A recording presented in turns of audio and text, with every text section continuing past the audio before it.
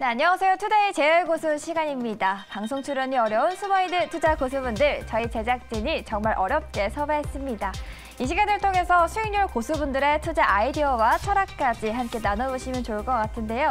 저희 재야의 고수에서는 숨어있는 수익률 고수를 찾고 있습니다. 방송 출연이 어렵지만 수익률은 누구보다 자신 있으신 분들 연락 주시면 되는데요. 샵 2034 문자 메시지로 재야의 고수 참가라고 보내주시면 저희가 직접 연락을 드릴 거고요.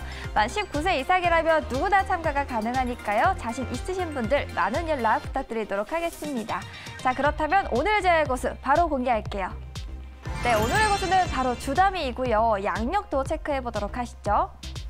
네, 주다미는 현재 상장사의 공시와 IR, PR을 담당하고 있습니다. 투자 철학도 얼른 보도록 할게요. 네, 매크로를 유의하면서 성장 모멘텀을 보유한 기업에 투자하자입니다. 오늘은 또 어떤 모멘텀을 가지고 있는 기업일지 기대해 보도록 하겠고요. 투자 컨설까지도 보도록 할게요. 네, 낮아진 이익 변동성은 valuation re-rating입니다. 네, 많은 분들이 궁금해하실 오늘 종목은 바로 신중호 앵커가 소개할 거고요. 신중한 점수까지 기대해 보도록 하겠습니다. 오늘 종목 바로 만나보시죠. 이번에는 재야의 고수 시간입니다. 숨어있는 투자 고수들의 비법과 종목을 공개하는 시간인데요. 오늘은 어떤 종목인지 바로 공개하겠습니다. 네, ISC인데요. 어, 간단하게 사업 내용과 실적 현황에 대해서 말씀드리도록 하겠습니다. 바로 반도체 테스트용 실리콘 rubber 소켓을 세계 최초로 상용화하고 양산화에 성공해서 현재 글로벌 시장 점유율 90%에 가깝게 유지하고 있습니다. 과거에는 메모리 반도체 테스트 비중이 높았기 때문에 실적 변동성이 굉장히 높았지만 비메모리 매출 비중이 빠르게 올라오면서 이익의 변동성은 낮아지고 이익의 질은 높아졌습니다. 연간 비메모리 비중이 보시면 아시겠지만 16년 20%에서 지난해에는 21년 60%까지 상승한 것을 알 수가 있습니다. 2022년 상반기에는 earning surprise가 이어지고 있는 상황인데요.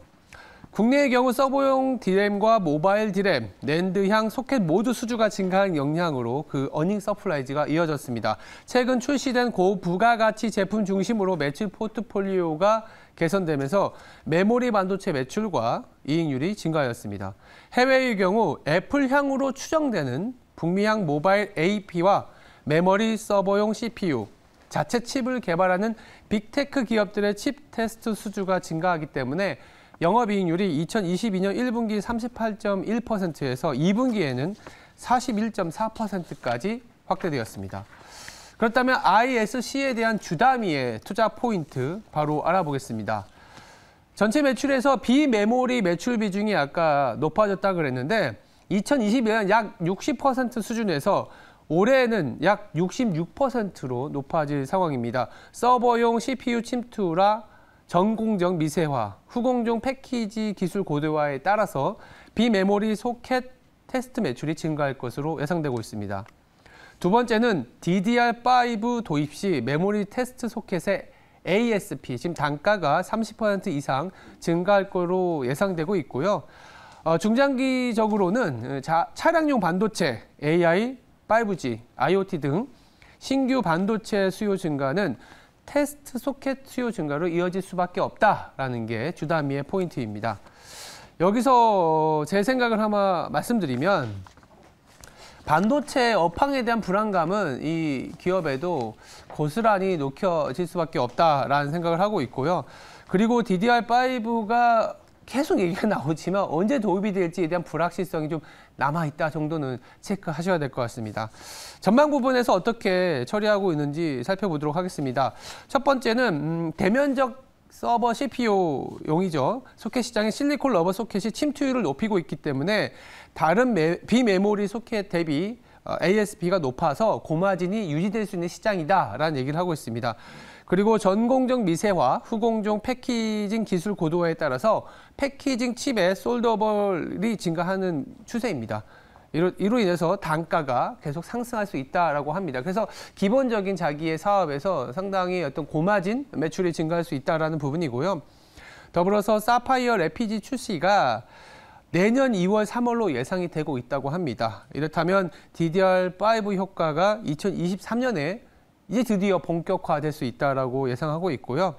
그리고 big tech들이 자체 칩을 개발하고 있기 때문에 테스트 소켓 수요 증가가 어, 뭐 당연하다 이렇게 이제 전망을 하고 있는 상황입니다.